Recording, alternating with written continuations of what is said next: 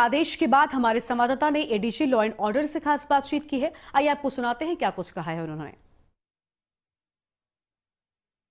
पूरे देश में उत्तर प्रदेश की कानून व्यवस्था की हर जगह जय जय हो रही है। खासकर योगी मॉडल का हर जगह सभी लोग गुणगान कर रहे हैं।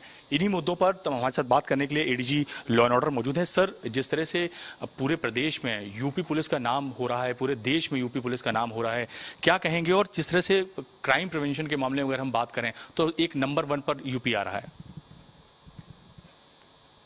पिछले साढ़े पाँच वर्षों में उत्तर प्रदेश पुलिस का काफ़ी समावेशी विकास हुआ है।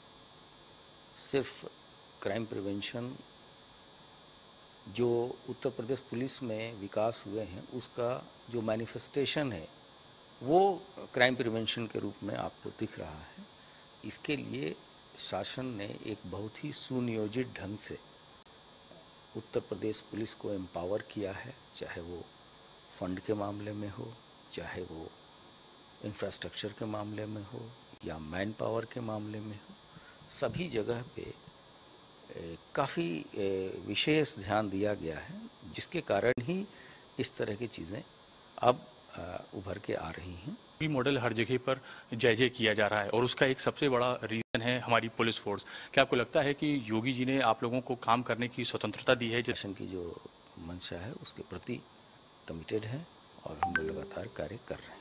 बहुत बहुत शुक्रिया हमसे बात कर रहे थे आपसे Prashant Kumar ADG law and order Uttar Pradesh जिसका सीधे तौर से कहना है कि बेहतर कार्य प्रणाली और तमाम व्यवस्थाओं को सरकार ने तमाम चीज़ों को सुसज्जित किया है जिसकी वजह से उनको एक बेहतर बल और एक बेहतर ट्रांसफ़र मिला है, जिसकी वजह से तमाम अपराधियों का दमन किया जा रहा है और बेहतर व्यवस्था को लगातार उत्तर प्रदेश में लागू किया जा रहा है।